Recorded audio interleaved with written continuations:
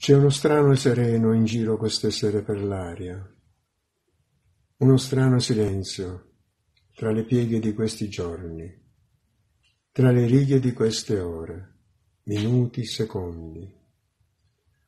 Una sorta di pace lontana che si fiuta nell'aria, ma il vento disperde i nostri pensieri, dirada le nostre anime.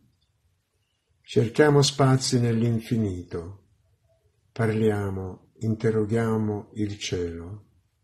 Parafrasare gli stati dell'animo, mettere per iscritto ciò che in un periodo di emergenza come quello attuale tormenta la mente dell'uomo, rappresentare con i versi di una poesia lo stato di tensione, di attesa e il silenzio che avvolge la generazione del Covid-19. Tutto questo è capace di generare un componimento poetico, tutto questo vuole destare l'autore della poesia sul coronavirus, Antonio Tarsi.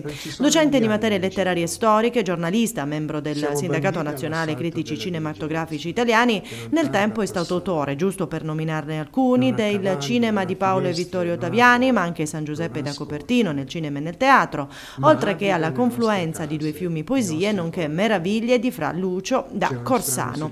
E mentre il silenzio invade le strade, c'è chi, come Antonio, con il proprio componimento, vuole lasciare alle generazioni future le sensazioni di un'emergenza che pervade la gente, che intanto resta a casa. E tu ed io, tutti noi come ogni giorno, ogni sera, ogni notte, ogni mattino, restiamo a casa, restiamo a casa, restiamo a casa.